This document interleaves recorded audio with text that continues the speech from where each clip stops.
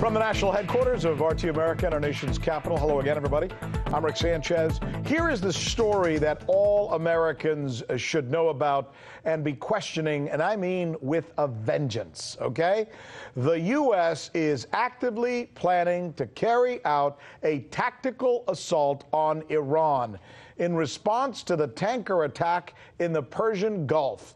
This story first reported in Israel comes from multiple sources inside the United Nations. It describes the military actions being considered as an aerial bombing of Iran's nuclear facilities. The bombing, according to the sources, will be massive, but limited to a specific set of targets. Who is pushing this, this plan, this attack, this bombing of Iran, even more so than military officials?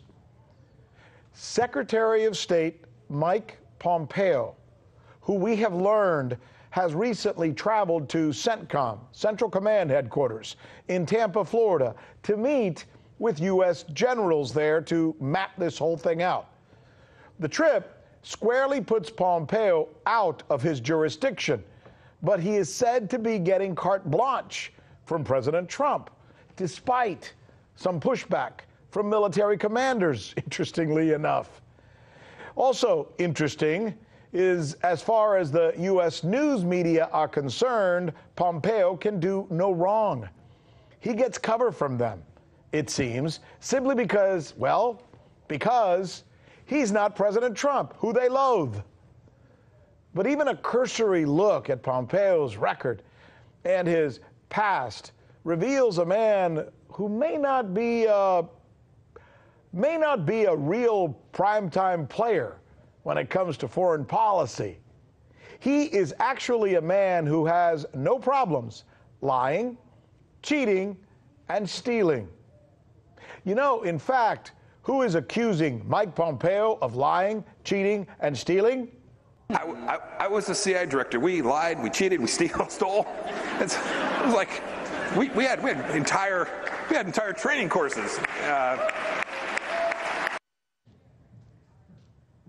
Did you hear that?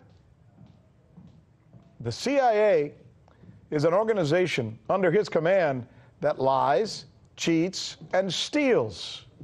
And it is a joke. Let me play that for you again. I, I, I was the CIA director. We lied, we cheated, we steal, stole. It's, it was like we, we had we had entire we had entire training courses. Uh, so how do we know then that the comments he just made this week about needing to attack Iran because they're attacking tankers is not another lie or cheating or stealing? How do we know? Most of you who watch this channel don't need Mike Pompeo to tell you some of these things. You probably already knew that. But, but as we learn that he is drawing up plans, literally drawing up plans to attack Iran, it is my job and yours to be mindful of what may be about to happen, based, if nothing else, on what's happened in the past. Because as Americans, it's not your right to know what's going on. It's your responsibility.